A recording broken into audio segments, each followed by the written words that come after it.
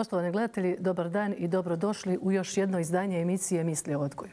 Senzorna integracija, poteškoće u senzornoj integraciji i senzorna soba tema su naše današnje emisije.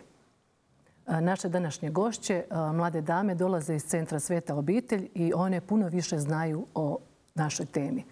Zadovoljstvo mi je pozdraviti gospođu Kristinu Marijanović. Dobar dan i dobro nam došli. Dobar dan, hvala na pozivu. I gospođu Andrijanu Vasilj. Dobar dan i dobro nam došli. Dobar dan.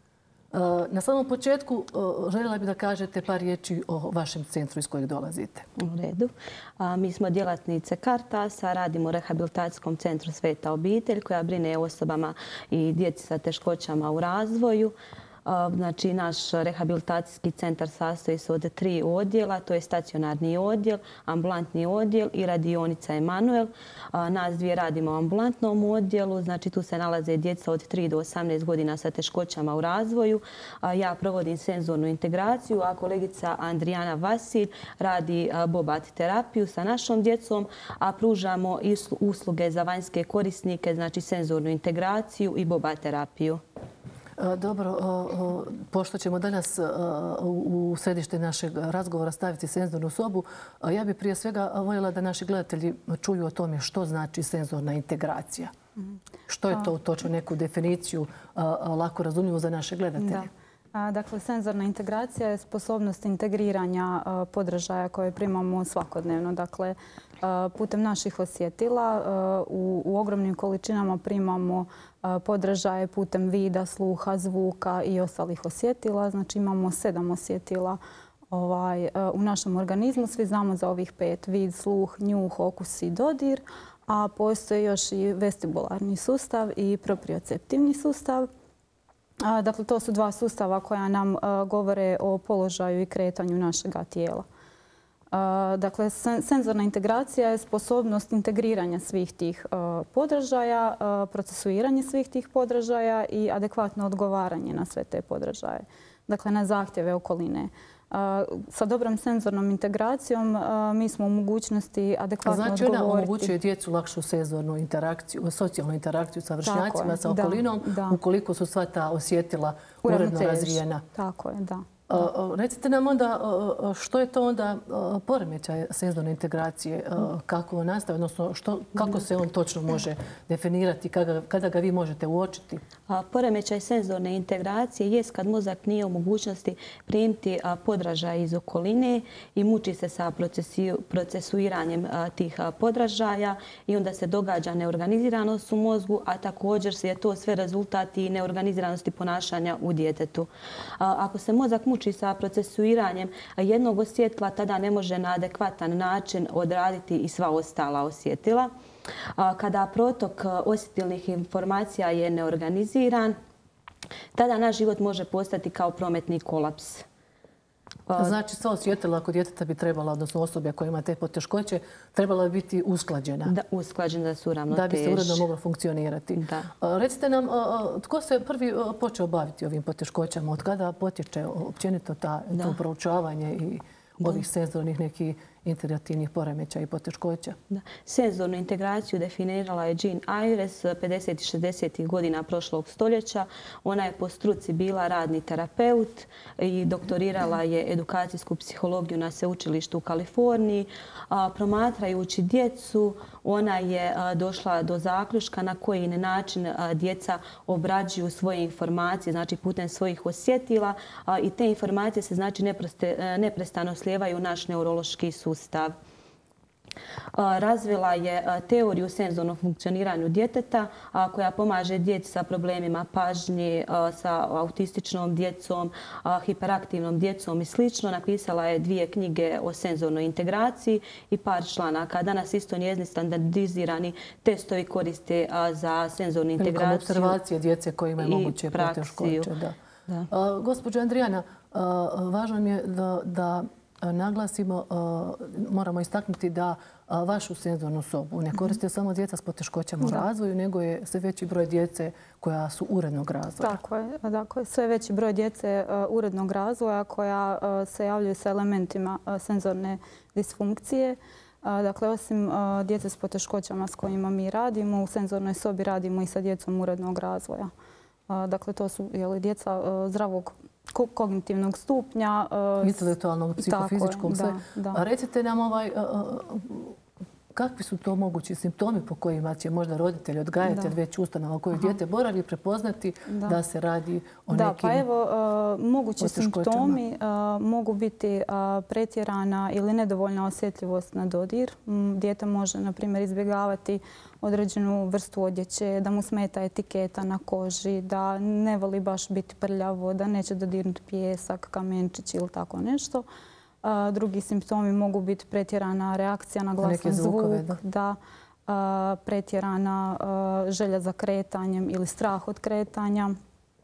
Zatim dijete može imati... Znači, obično ide iz neke krajnosti. Da, tako je, dvije su krajnosti. Dakle, sve ono što je nekako neprimjereno, ne- ne- neprimjerena reakcija na neki na Kada se najranije može uočiti? Može se to kod beba već uočiti ili Može, možda već... da, Kada da. najranije mogu prvi Pa, simptomi da se, da već u uoče? dojenačkoj dobi se mogu javiti simptomi e, senzorne disfunkcije. A naravno, roditelji bi trebali da budu ovaj, uh, Znali bi, trebalo bi znati prepoznati se te simptome koji se... Pa Ovaj, najčešće neuropedijatri znači ovaj prepoznaju u početku dok je još beba mala i preporučuju znači da dođu djeca na procjenu kod nas. a koji onda tu sve a, tim s kojim vi surađujete? Tko vama šalje djecu na, na ovaj tretmane? Da. Znači šalju nam neuropedijatri, logopedi, psiholozi, radni terapeuti, a često ovaj roditelj dođu i samo inicijativno, ali to je već znači kad su djeca veća, kad se teško mogu suočavati sa svakodnevnim situacijama, već kad su vidljivi ti ovaj simptomi poremećaja senzor- senzorne integracije. A kada a, nije kasno već, ovaj, a, koje, je li bolje ranije krenuti Znači ili... što bolje, znači što prije to bolje. Jer ovaj, znači, u trenutku dok su djeca mala pa sve do 7 godina taj je sezomotorički razvoj najintenzivniji. Tako čim se uoče teškoće jako je bitno dovesti dijete na procjenu za tretman. A, Budući da ste vi ovaj, fizioterapeut e, Bobat e, e, metode, ovaj, je li tu također kod ove djece koje imaju ovu poteškoću senzorne integracije, je li, je li strada i fina motorika? Da, da, prisutne su elementi motoričkog funkcioniranja. Dakle, djeca mogu biti nespretna, spoticat se, da ne vladaju baš svojim tijelom. Loša bude koordinacija, loša bude fina motorika, gruba motorika. Dakle, senzorna integracija utječe i na motorički i jel, na senzorički razvoj dio. fine i krupne Da, motorike. Da. A, ovaj, po vama koji su to ovaj, iz vašeg iskustva rada s ovom djecom, koji su to možda uzroci? A, može li a, prilikom, u- ukoliko neuropedijatar preporuči magnet mozga i ukoliko se otkrije neko, neka, neka poteškoća, odnosno na, na magnetu da se otkrije neka lezija ili nešto, a, je li ovaj, a, i bez toga a, ima jako puno djece koja imaju te poteškoće u senzornoj integraciji? A, Da, pa osim oštećenja središnjeg živčanog sustava ili perifernog, osim nekih komplikacija u trudnoći, senzorna disfunkcija može nastati zbog manjka iskustva. Danas pogotovo razvojem moderne tehnologije djeca su nekako sve manje vani, a sve više Je li u nam kućama. opet kriv svemu tome mobitel? Pa dijelom snosi da Djelomično. odgovornost. Da. Znači, ti ipak vale utječu na mozak djeteta i, i da se ne razvijaju one funkcije koje bi se trebale razviti u neke određene faze. A, Kojeg uzrasta su vam djeca najčešće koju vi, ovaj, Kristina, imate u Ovaj, vašem? ovako, znači mi radimo sa bebama od, 18, eh, od 6 mjeseci do 18 mjeseci na drugačiji način. Tu nam je jako bitan a, roditelj da je u prisustvu dok radimo procjenu i za vrijeme savjetovanja, jer u tom periodu njihovi, njima su najvažniji njegovi njih, roditelji. Ovaj, znači, dovedemo dijete na procjenu, radimo screening Oprostite, naravno, pedijatar prilikom tih prvih pregleda preporučuje, preporučuje nama dijete. tretman za to dijete. I radimo znači screening prilagođen za bebe. Roditelj popunjava opširni upitnik i na osnovu toga mi pravimo procjenu. Ovaj, I savjetujemo roditelj na koji način on će poticati Ko senzornu je još u vašem timu, integraciju možete li kod mi reći kuće. tko je sve sudioni, a, ko, tko je u vašem timu za procjenu tog Znači, djeteta? specijalist strane intervencije, senzorni terapeuti i socijalna radnica. Da? Da. I onda imate vi o, neki mogući dosije po kojem pratite kasniji napredak djeteta? Da, imamo. Znači Kako uvijek mi snimamo, znači uvijek snimamo dijete 45 minuta u slobodnoj igri i ta prva procjena naziva se baseline. A, tu promatramo znači organizaciju ponašanja, praksiju, motoriku, senzoričke procese te odnos s terapeutom, kakvu interakciju imaju a, dijete i terapeut. A, roditelji sa socijalnom radnicom popunjavaju obsežni upitnik i radimo screening a, sa To djecom kada su u pitanju starija djeca. kad su starija djeca. Ovaj, na osnovu toga mi radimo procjenu i pišemo savjete za rad e, kući roditeljima, dok roditelji čekaju da se dijete uključi u tretman senzorne integracije. Znači, roditelj mora prisutan biti kada su bebe u pitanju kasnije. Dijete većinom boravi samo kod vas, Tako ili je, tako? da, da. Kad su bebe u pitanju, roditelji su uh, u senzornoj sobi i terapeut daje naputke kako da roditelj pruži određeni stimulus djetetu. A kad je u pitanju uh, starije dijete, um, on se snima uh, 45 minuta u slobodnoj igri s tim da se roditelj snima 5 minuta zajedno s njim u senzornoj sobi i tu promatramo odnos roditelja i djeteta, njihovu interakciju, igru, situaciju učenja i znači, to bilježimo također. Znači, što je bitno kroz procjene? Uočiti te simptome, njihovu Kod- jačinu, intenzitet, je li tako? Da, da, kod procjene je jako bitno uočiti da li su dijete hiporeagibilna, znači na određene podražaje, hiperreagibilna, znači preosjetljiva ili modulacija, to je način prelaska iz hipo u hiperreagibilnost. Hiperreagibilna djeca, to znači da su djeca preosjetljiva na određene podražaje, taktilne, vestibularne, proprioceptivne, vizualne ovaj, pod, i ostale podražaje, a hipo to znači da su djeca nedovoljno osjetljiva, znači da traže još podražaja. Na primjer, ja sad dijete dodirnem, ono uopće ne osjeti da ga je se dodirnuo, znači treba mu dati jači input. A kad je preosjetljivo dijete na jako lagani dodir pretjerano reagira. To je taj primjer. A modulacija je, recimo ja sada volim dodirivati grubave predmete, a izbjegavam dodirivati neke kao ljigave, kremaste, gnjecave. Da, znači vi morate prepoznati jačinu tih o, simptoma, Simptoma. intenzitet da bi o, mogli, Mogli primijeniti adekvatnu terapiju. O, Idemo sada pogledati jedan o, prilog koji je iz naše arhive, naše TV, o, koji dolazi sa samog otvorina vaše ovaj, sezone sobe. Pa pogledajmo.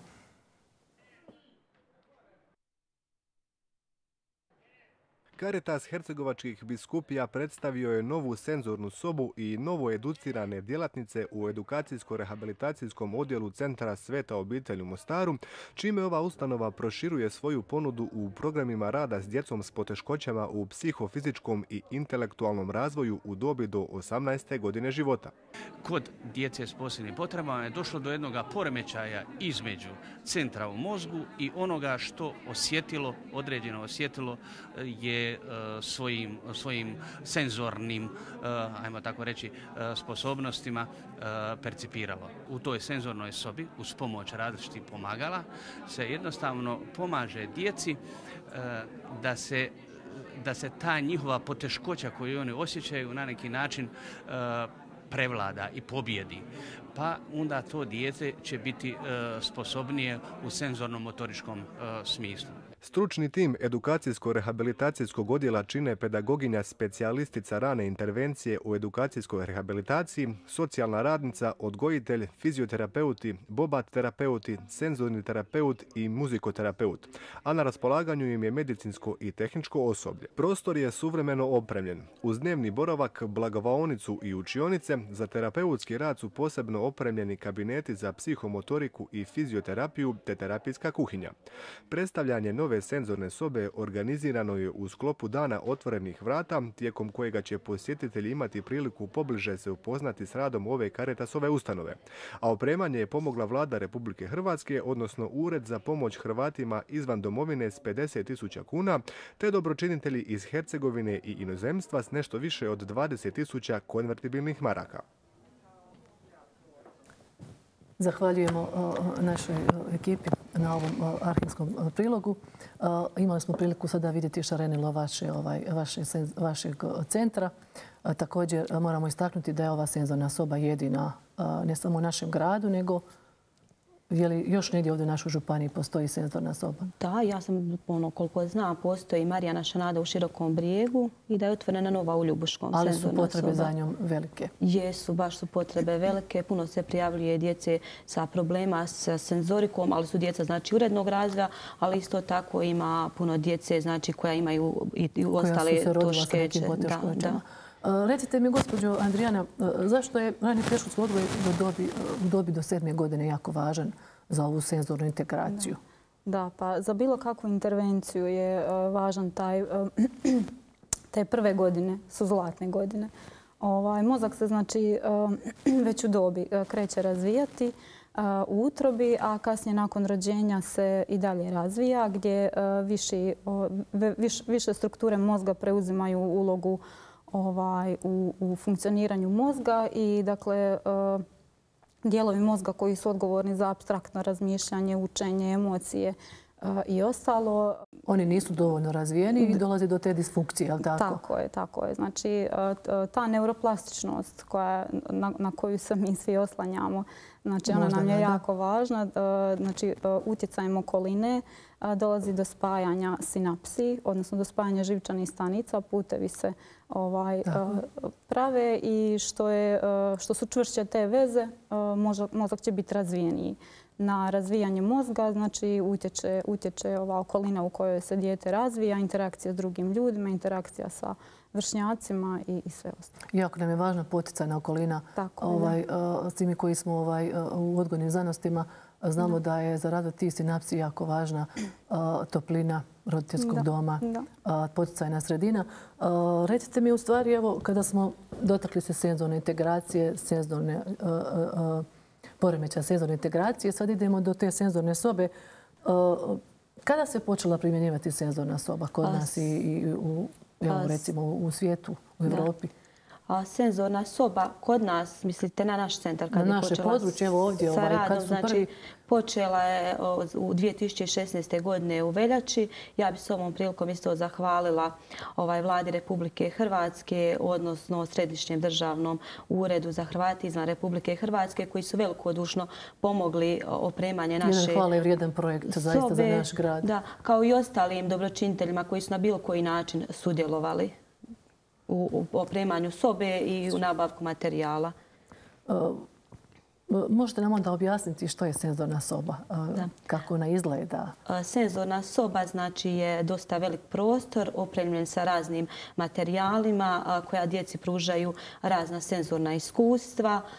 Znači tu postoje ljuljačke, bazen s lopticama, trampolini, razni taktilni materijali, vizualni materijali, auditivni materijali, razni poligoni gdje djeci ovaj dopuštaju slobodno kretanje, švedske ljestve, veliko ogledalo gdje radimo na poticanju kontakta očima.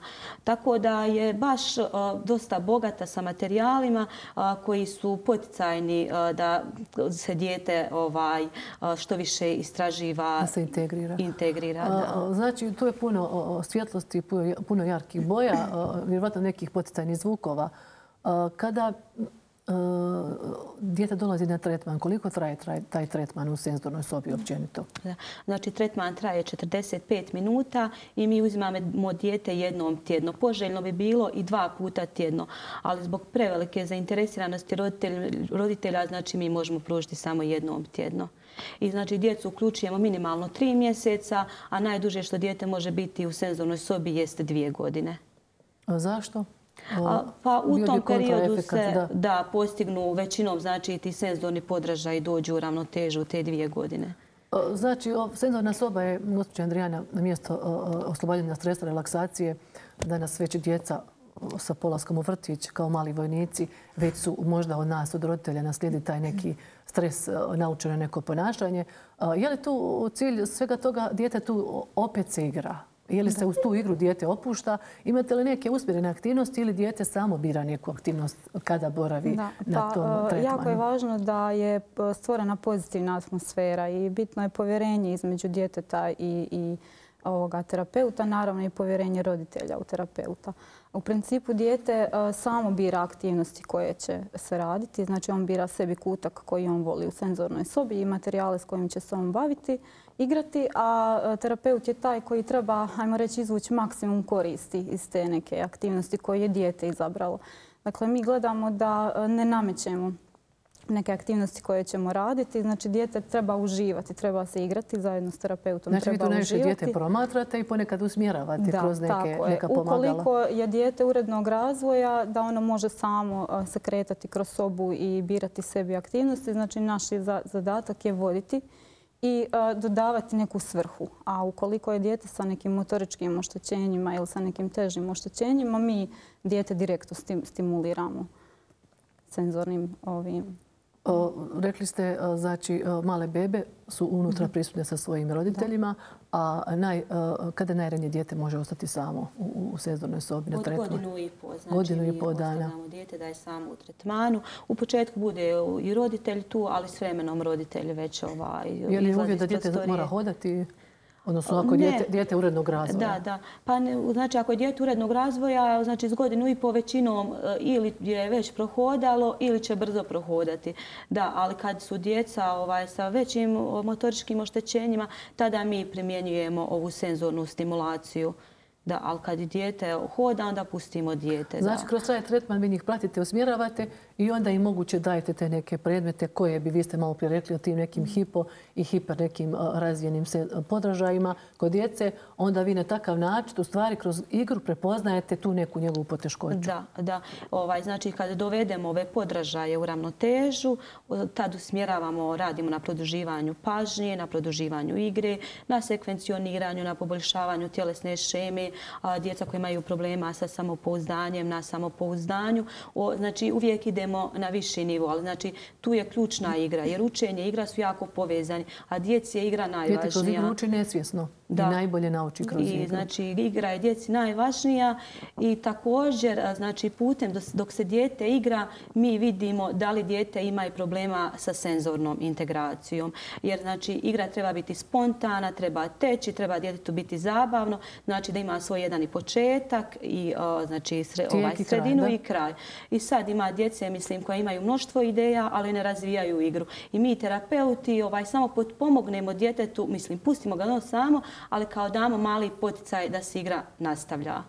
To je znači onda ona poteškoća u socijalnoj interakciji sa vršnjacima. Koje vi najviše možete primijetiti? Je li kod djeca ima poteškoća u govoru, kod te socijalne, kod poteškoće te socijalne integracije ili ovaj ili su to više ovaj u nekoj finoj motorici. Što što vi kroz vaše evo iskustvo rada možete najviše istaknuti kao kod ove djece? Da. A, znači mi imamo djece stvarno puno i sa poteškoćama u govoru i sa motoričkim teškoćama a, također djece i urednog razvoja autistične djece a, problema fine i grube motorike. Tako da ovaj mislim to je mislim šaroliko. Ne mogu baš izdvojiti da je posebno ali je napredak vidljiv. Je li, je li, kako, kako najranije možete primijetiti? Dobro, to je sve ovisi od same poteškoće. Vi, vi pratite taj napredak, upisujete u, u takozvanu neku checklistu ili dosije od djeteta. Je li, je li se napreduje? Pa napreduje. Iz tretmana u tretman je stvarno vidljiv ovaj napredak i jako smo sretni kad i roditelji kažu da vide napredak. A jesu roditelji dužni kod kuće nastaviti neke aktivnosti? Je li imaju mogućnost? Da, mi se trudimo roditeljima Pa dati informaciju koji je naš cilj, što bi trebalo raditi s djetetom i uvijek im damo smjernice, savjete što da rade kod kuće. I isto tako je dobro da roditelj nama da povratnu informaciju kako to sve funkcionira kući. Dakle, mi smo jedan tim s roditeljem jer zajedno radimo za dobrobit djeteta. Mm, ko vam je onda se u timu uključen? Malo prije smo naveli. Znači specijalist strane intervencije. Vezano za ovu senzornu sobu, je naj, ko je primarno najvažniji u radu u senzornoj sobi? Najvažnije nam je dijete, a od tima... Od tima, da, da, od tih znači, stručnjaka koji rade sa djecom. Specijalist intervencije, senzorni terapeuti i socijalna radnica i naravno roditelji. Kako onda izobrazbu oni mogu imati, odnosno trebaju imati da bi općenito bili ovaj, osposobljeni za rad evo, u senzornoj sobi? Znači, izobrazbu trebaju završiti ovaj, za senzornog eh, terapeuta. Uz, mislim, ima to u Zagrebu, Akademija za razvojnu rehabilitaciju.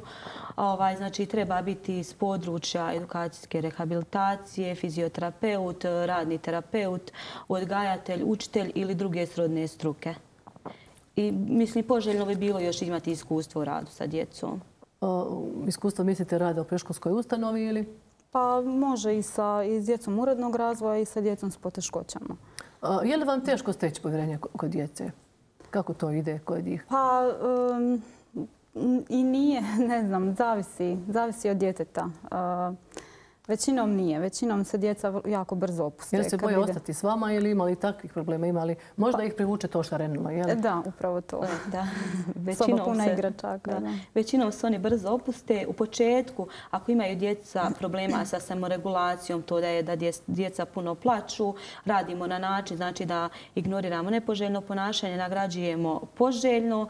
I mislim, možda bude jedno, dva tretmana da oni plaču, da mislim im stvara problem, ali kad oni oni steknu povjerenje u nas, da im se tu neće ništa loše dogoditi, mislim već oni treći put dolaze sa olakšanjem. Bude ih teško izvesti senzorne sobe.